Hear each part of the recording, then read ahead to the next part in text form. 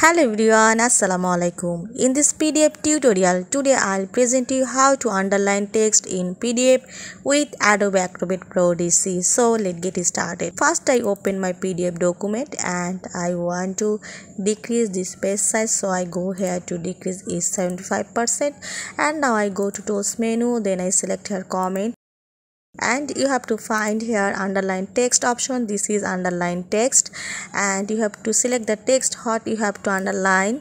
And I select this. And then press underline text.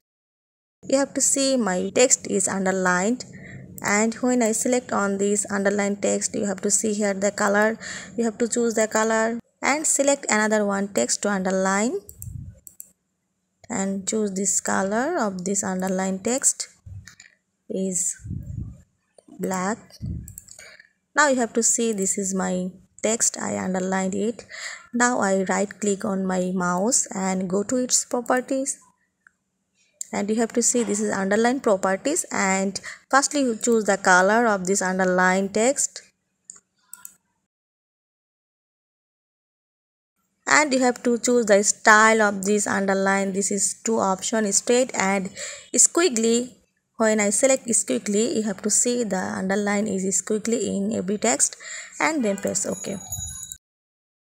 So viewers now close this PDF documents and go to file option and this save this PDF.